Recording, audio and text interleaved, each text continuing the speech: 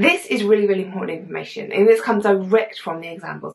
So please share this with as many people as you can to avoid anybody making these common mistakes in an um, exam. And the exam board has shared this because they genuinely want you to get more marks. Now, I know you think the exam boards are the enemy, but they're not.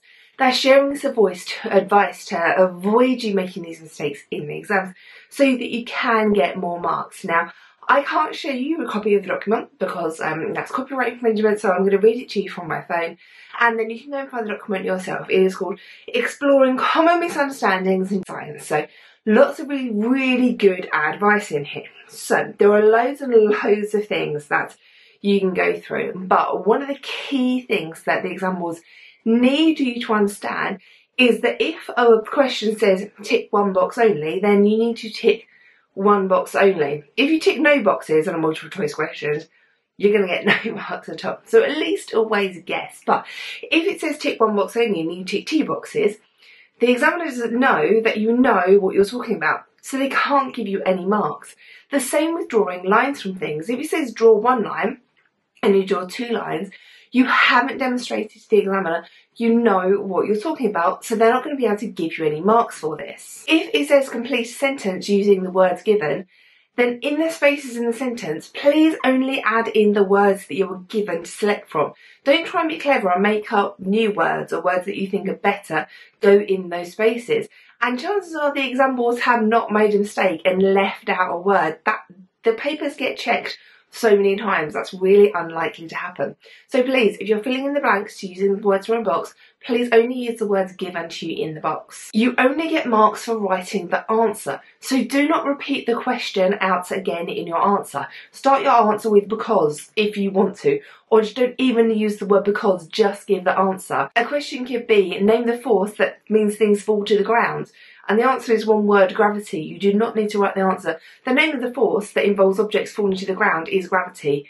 Just give that answer, because that's the only bit you're getting marks for. Don't repeat the stuff that was in the question, because you're not going to get marks for it. If a question asks you to compare two things, and you say, it is higher, what is higher? It is not a good word to use in the exams. If you say something is higher or something is lower or something has changed, then please be specific in what you were talking about. And when you're writing things down, please make sure your your spelling is clear enough for the examiner to understand what you are talking about. They will go with phonetic spellings, but please try and make it easy for them to keep with the marks. When you are writing down numbers, please make your numbers really, really clear.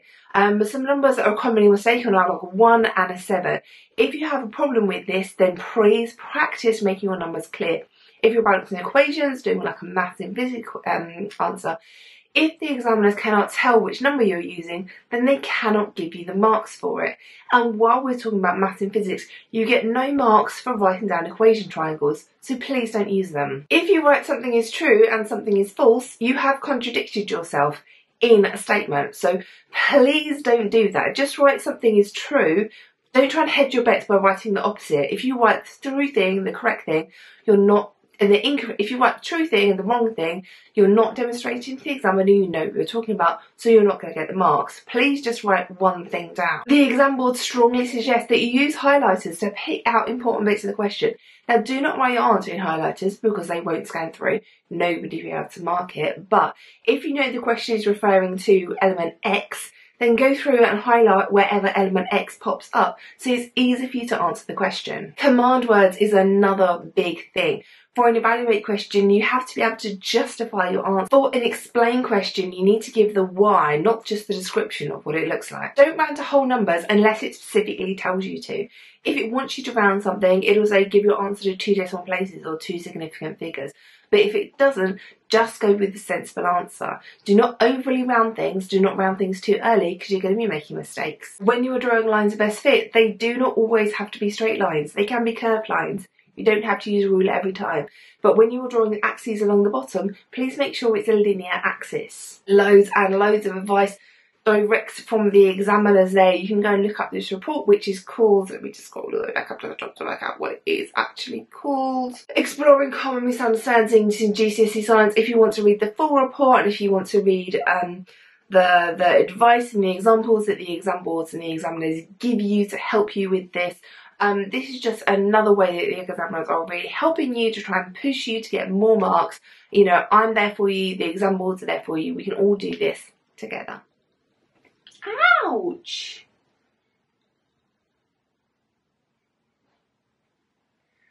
This is why in some videos I, I explain scratches.